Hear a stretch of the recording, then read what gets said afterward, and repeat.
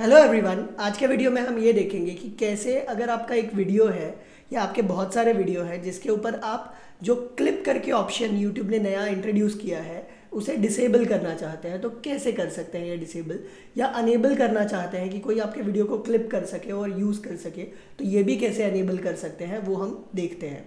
तो ये करने के लिए सबसे पहले मैं आपको दिखाता हूँ कि ये जो क्लिप है, वो वर्क कैसे करता है। यहाँ पर मैं क्लिक करूँगा वीडियो पर तो ये वीडियो मेरा यूट्यूब पे आ गया।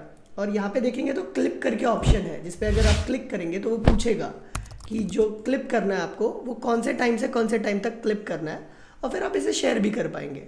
तो ये जो क्लिप ऑप्शन है, ये आप डिसेबल करना चाहते हैं अगर तो कैसे डिसेबल कर सकते हैं वो हम देखते हैं।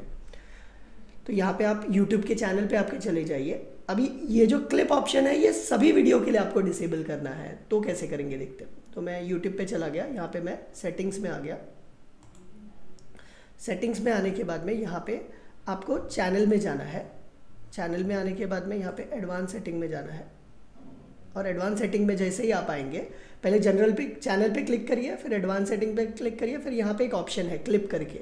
तो ये अलाउड है। Allow viewers to clip my content ऐसा लिखा हुआ है, ठीक है? इसे मैं डी सेलेक्ट करता हूँ।